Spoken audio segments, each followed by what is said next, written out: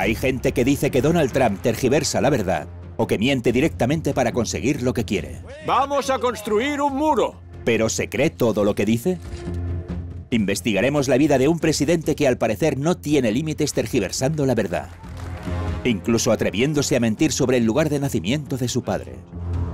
Esto es lo que dijo, para tratar de persuadir al gobierno alemán. Mi padre es alemán, sí, era alemán. Nació en un lugar maravilloso de Alemania, por lo que le tengo mucho cariño a Alemania. Solo hemos visto unos 12 segundos de su discurso, pero está plagado de comportamientos que lo contradicen.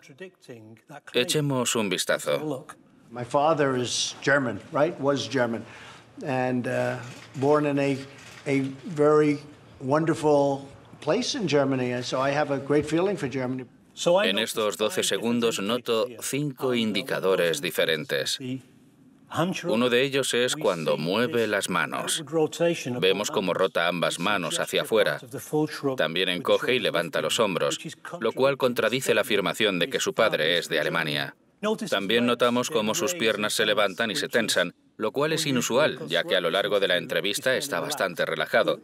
Ahí vemos signos de tensión. Todas estas señales nos muestran que no es cierto lo que está diciendo.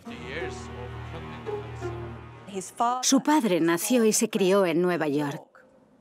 Él no lo ve como una mentira, sino como una deformación de la realidad para engrandecer su figura y complacer al pueblo alemán. Su abuelo fue quien nació en Alemania, no su padre.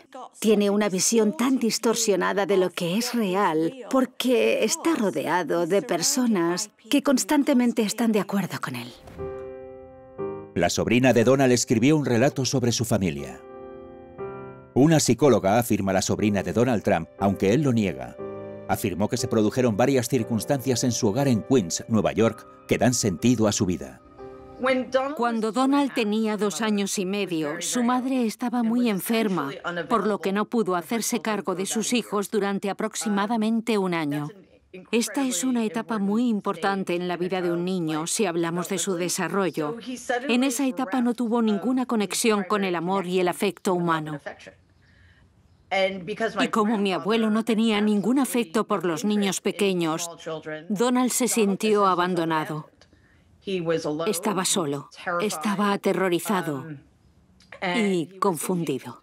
Nadie le ayudaba a completar ese vacío, por lo que tuvo que desarrollar algunos mecanismos de defensa para protegerse de esos sentimientos tan horribles. Y esos mecanismos se acabaron convirtiendo en rasgos de su personalidad. Donald es adicto a la atención de la gente, pero no me refiero al amor de la gente, ya que en mi opinión nunca ha llegado a experimentarlo, sino a esa búsqueda infructuosa e interminable para experimentar todas esas cosas que no ha tenido en su vida desde que tenía dos años y medio. En el fondo, sigue siendo ese niño pequeño que busca aprobación, que busca atención.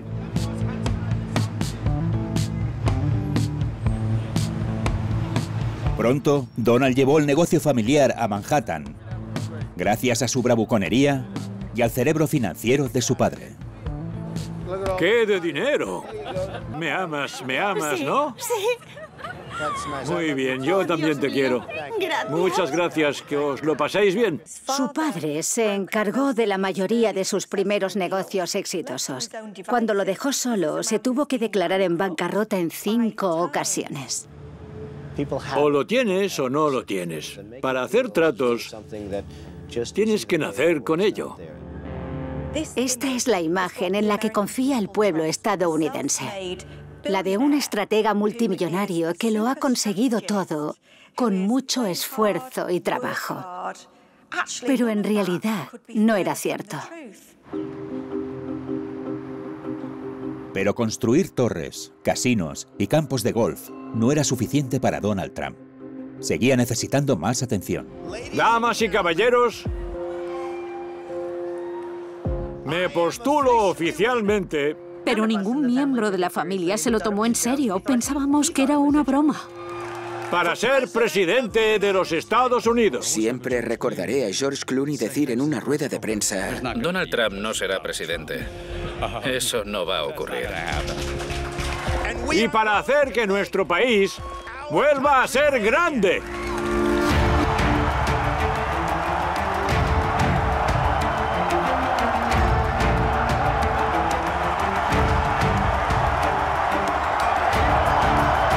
Ahora todos tenían que creérselo. Donald Trump apareció en los debates televisivos diciendo que su principal rival en el Partido Republicano era un mentiroso. Madre mía, Cruz es un mentiroso. Este tipo es un mentiroso. Le llamaremos Ted el mentiroso. Ted el mentiroso. Y en la campaña presidencial, su objetivo era encarcelar a su rival demócrata. Y después, por supuesto, tenemos a Hillary la corrupta, que todos lo sepan. Hillary la corrupta ha sido corrupta desde el principio. Los apodos funcionan porque centran nuestra atención en una sola característica de una persona, por lo que en efecto esa persona se convierte en esa característica. Por eso Hillary era una corrupta y nada más, y por eso Ted Cruz solo estaba mintiendo. Para eso sirven, fueron efectivos porque eran breves y fáciles de recordar.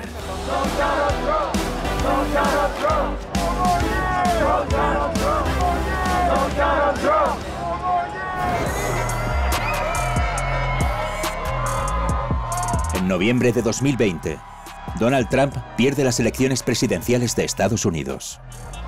Buenas tardes desde Washington en un día muy soleado. Joe Biden ha conseguido suficientes votos para ser declarado el próximo presidente de los Estados Unidos.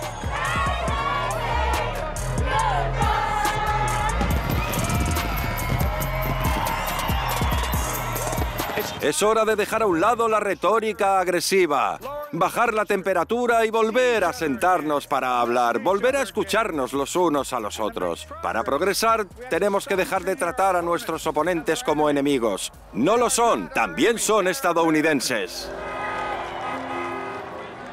Quiero agradecer al pueblo estadounidense por su tremendo apoyo. Hay millones de personas que nos han votado esta noche pero un pobre grupo de personas está tratando de privar a esas personas de sus derechos y no lo vamos a consentir. No lo vamos a tolerar. Se está retorciendo como en otras ocasiones. Y si no estuviera apoyado en el atril, Estoy seguro de que volvería a girar las manos, lo cual nos mostraría que no está seguro de lo que está diciendo.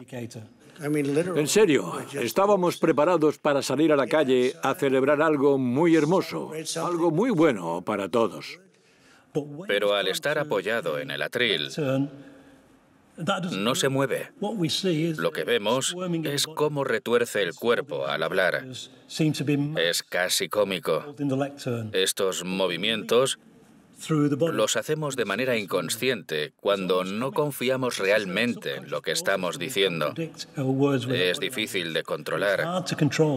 Lo podemos notar perfectamente en los hombros. Es como alguien que está demasiado borracho para pelear, pero que no se quiere rendir. Y otra cosa, Georgia ha parado el recuento. Está claro que hemos ganado en Georgia. Y después dice que están contando los votos ilegales. Llevo diciendo esto desde el día en el que supe que iban a enviar decenas de millones de papeletas. Lo que vemos en este discurso es lo que se conoce en psicología como descompensación narcisista. Esto se produce cuando la realidad de una situación es tan dura para el ego de alguien que no quiere creérselo. En estos casos, sus pensamientos se distorsionan considerablemente e incluso pueden llegar a ser ilusorios. Su tono de voz sube. Dice, Al igual que hemos ganado claramente en Carolina del Norte. Solemos asociar las entonaciones crecientes con las preguntas. Pero en este caso, no está haciendo una pregunta, sino que está haciendo una afirmación. La entonación no cae al hacer dichas afirmaciones, lo que nos hace ver que no está seguro de lo que está diciendo. Para proteger la integridad de estas elecciones tan importantes del año 2020, si contamos los votos legales, ganaría sin problemas. Justo al principio volvemos a ver el movimiento de hombros de Trump. Retuerce los hombros. Es un efecto involuntario de su cuerpo, lo que indica que no muestra confianza en lo que está diciendo. Como ha visto todo el mundo, hemos ganado por una gran diferencia. Obviamente, el discurso es diferente en este caso. Trump es una persona a la que le gusta comunicarse, por lo que usa su voz de formas muy interesantes. En este caso, su voz es monótona durante todo el discurso. Nunca he visto tanto amor, tanto cariño, ni tanto espíritu. Es muy fácil pasar por alto esta evidente expresión de tristeza. Lo único que podemos llegar a ver como muestra de la tristeza que sentía Trump es un movimiento de cejas. En la imagen de la izquierda se muestra la forma que suelen tener sus cejas. Pero en la imagen de la derecha vemos cómo se eleva la ceja de la derecha dejando la izquierda plana. También vemos cómo relaja los párpados, lo cual nos muestra sensación de tristeza. Y también vemos cómo las comisuras de la boca se relajan un par de milímetros.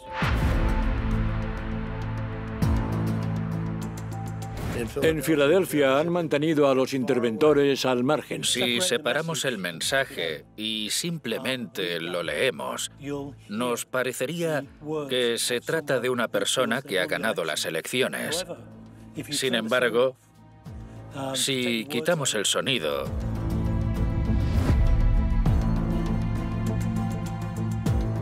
podemos ver a un hombre abatido por la derrota. Y de repente, nuestro número de votos ha descendido milagrosamente. Los medios de comunicación y las redes sociales comenzaron a abandonar a Trump. Twitter empezó a poner en entredicho las afirmaciones de Donald Trump. También Fox News dijo que en realidad no estaba diciendo la verdad. Y creo que esto debió aumentar su sensación de victimismo. Se encuentra en un momento muy oscuro. Es la primera vez en su vida en la que Donald no tiene el control para revertir una situación. No puede comprarlo, ni puede influenciar a nadie para cambiar los resultados. Hay que reconocer que es un gran actor, un prestidigitador.